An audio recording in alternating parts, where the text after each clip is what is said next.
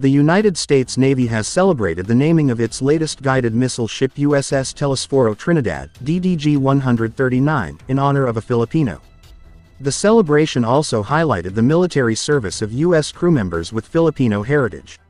The event was officiated by Secretary of the Navy Carlos Del Toro, who announced the naming of the Arleigh Burke-class guided missile destroyer after Filipino-American Petty Officer 2nd Class Telesforo de la Cruz Trinidad on May 19, 2022. The USS Telesforo Trinidad DDG-139 is the latest guided missile destroyer added to the U.S. Navy's surface fleet. It is the first U.S. Navy ship named in honor of a Filipino Medal of Honor recipient and the second ship named after a Medal of Honor recipient of Asian American, Native Hawaiian or Pacific Islander descent, following the commissioning of the USS Daniel Inouye DDG-118 on December 8, 2021.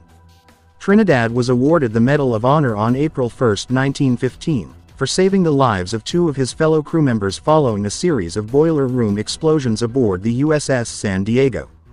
He is the only Filipino in the U.S. Navy to be awarded the Medal of Honor and the second service member, and the first and only sailor of Asian descent to receive the award in peacetime.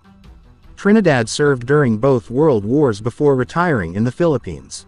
The Philippine Embassy in Washington joined the U.S. Navy in the celebration at the Rayburn House office building on Capitol Hill on January 10.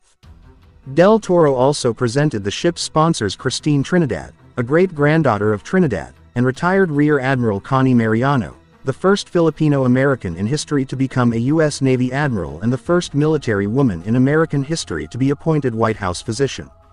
U.S. Undersecretary of the Air Force Gina Ortiz Jones, also of Filipino descent, and several active military members of Filipino heritage attended the event.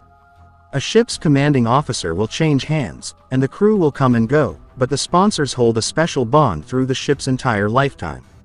I am excited for the enduring partnership that Christine and Connie will build with this ship and the crew in the years to come, Del Toro said.